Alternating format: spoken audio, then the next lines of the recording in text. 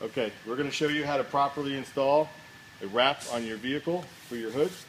Uh, first you want to start with uh, identifying if you have anything to remove on your hood. Uh, some vehicles you'll see here have your windshield pissers.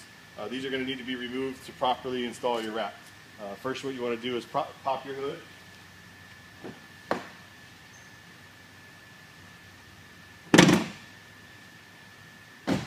Most cars underneath will have a, a heat mat that's uh, plastic riveted to your hood. Uh, you're going to want to locate those rivets.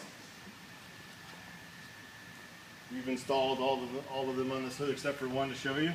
And uh, you want to use either a uh, trim tool or a flathead screwdriver sometimes can work. Just want to slide it under there and pop that rivet out and then the mat will actually slide right out. Next you want to actually remove the fluid hose, go into your pistons. You just pull right off, just carefully do that without breaking the plastic um, hardware. And then next you want to take flathead screwdriver. If you notice here there's a pressure clip right here. You're going to want to push that in and then this will actually rotate back and then you push the back one in. Sometimes they're a little tricky and then the hood pusher will pop right out and that's properly removed. And you just want to do the other side. Again, pressing one side at a time. And then they easily slide right out. And now you're done. So now you want to want to close your hood back up.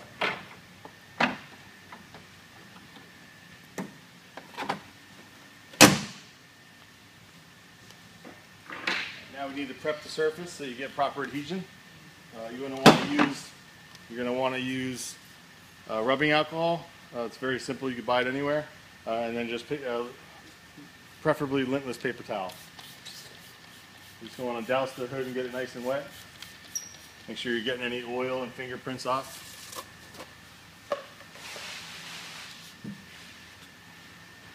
You want to make sure that you clean any grooves and uh, make sure the edges are free of any dirt.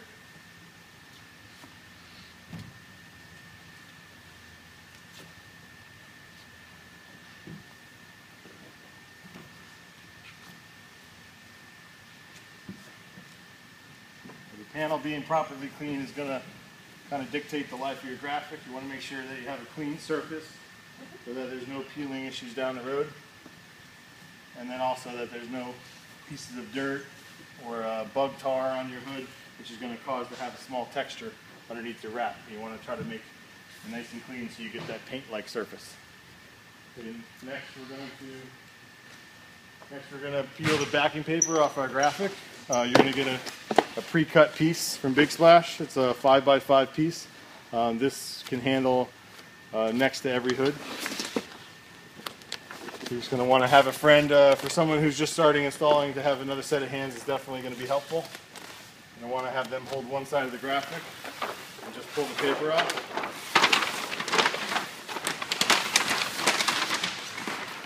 And then you're going to want to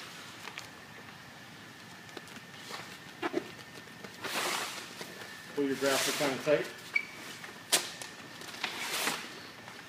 Kind of fluff it like a sheet, make sure there's no wrinkles in it. And center it on your, center it on your panel. And then keeping uh, you and your partner's hands level, slowly raise it until you start to see the impressions of the middle of the hood. Okay, that's good, and then they can let go, and then now you're back to a one-person installation. Good. Thank you, Mike. And now you want to pick up your edges try to try to fluff out any wrinkles that you might might have before you actually start installing. Uh, this will make your life easier um, as you get to finishing the hood. You can almost, usually depending on the shape of the hood, you can almost pull it almost tight to where it looks like it's painted uh, before you actually even start squeegeeing. Uh, this will definitely speed up your installation. Again, you're just slowly working around, around the hood, trying to get rid of any, any wrinkles or creases. Okay, now we want to start in the middle of our hood with our felt line squeegee. And you want to, without lifting up your squeegee, you want to just slowly work the air from the middle of the hood to one side. So here I'm going to start and work out to the edge. Very easy process. You want to just try to squeegee maybe uh, an inch at a time, uh, running down the whole length of the hood. You don't want to try to take on too much where you'll you'll actually get a wrinkle uh, from trying to trying to squeegee too much area at one time. And now I'll come to the other side and I'll work back. You're, essentially you're splitting the hood in half so you don't have to tackle the whole hood at once.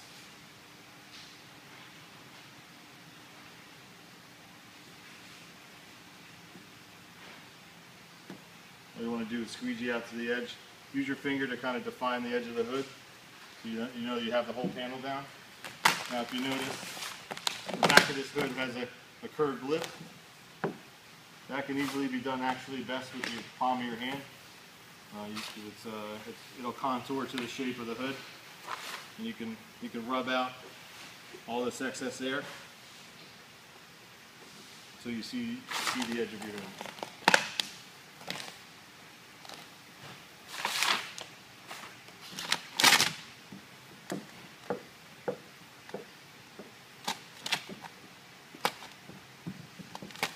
You see this material is very user friendly. It has an air release quality that allows you to remove bubbles without um, lifting up the material. It almost can breathe. Uh, this is a 3M product and it is a five-year material. Uh, and you notice in the middle of this hood we have a little impression with the body line. Um, a lot of hoods have these contours. What you're going to want to do is we, we've done all the flat areas. Now we're going to want to push this in. So we're going to split it right down the middle. And then we're going to allow an escape through the air back here. And then you're going to slowly just use your thumb to push it into this little groove here. Use your finger or your thumb, depending on how deep the groove is. And you can just push the air right out towards out the top to your escape hole. There's no heat needed. It's a very pliable material.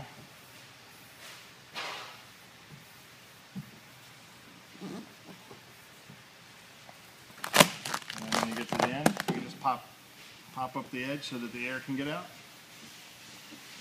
And just run your hand back and forth, making sure that you don't get any wrinkles. Again, the key to this is not taking on too much at one time. And then now I'll finish this curve coming out to the edge here.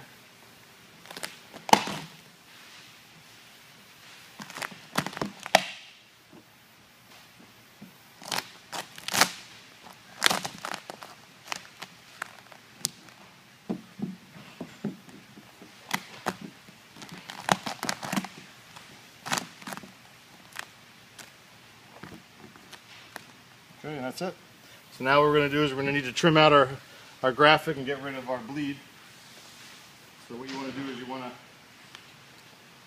you want to run your finger down the edge of the, of the of the hood, and you can see that I'm defining the edge so that I can see where my graphic needs to end. This is very important so that you get a nice clean cut. You want to do this all the way around the hood. And then you want to take an X-Acto knife, uh, which you can purchase at, at your nearest Home Depot. And you want to slide your knife and use the edge of the hood as a, as a guide, but working very slowly as you don't want to slice the paint. So you're using the gap between the fender or the bumper to guide your knife. And then you can slowly just continue to trace out the shape of your hood.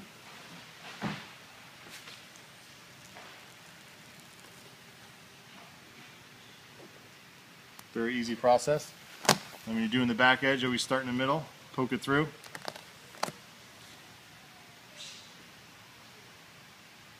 Trace that shape. And come off to the other side. And pick up where you started.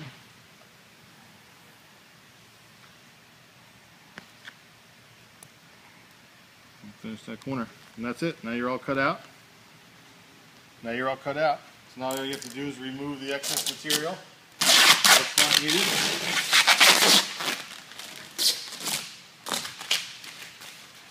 And then now you want to press down the edge that you just cut with your finger to assure that the edge is sealed.